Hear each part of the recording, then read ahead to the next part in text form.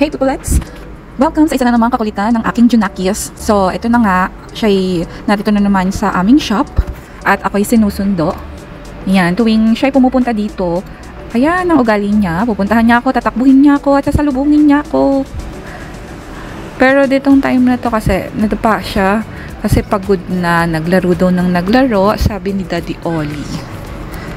Binihisan nga namin siya kasi sobrang formal naman ng suot niya, eh maglalaro lang naman siya. So nag-decide nga kami ni Tati Oli na pumunta muna dito sa may kabilang side dahil sa Lego. Pero bago yun, eh nagpapasikat ang aking anak at eto nga, eh sinasabi niya yung aces ah.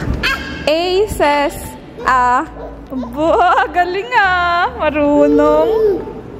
Namili nga kami ng token at sinakay namin siya dito sa, ewan ko kung ito ay bus, train, or whatsoever. Basta sinakay namin siya dito, nilagyan namin ng token para ma-experience niya naman itong Lego land na to na pwede siyang maglaro. At since nakakaupo na nga siya, ayan, nag-enjoy naman ng aking Junakis. Nagahay pa nga siya sa camera kaya natutuwa kami. Masayang masaya ang anak ko hindi lang halata kasi lagi yung mukha niya nakasibangot.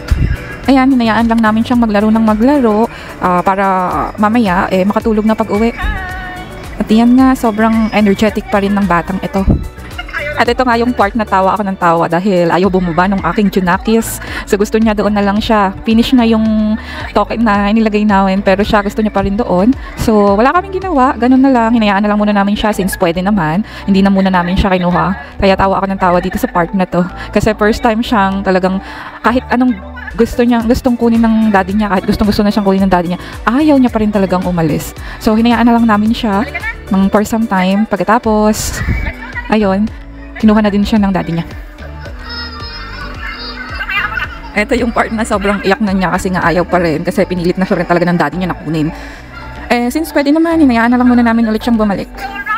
At ayun, later on, napagpasyahan na rin namin umalis at umuwi na nga kami dahil gabi na.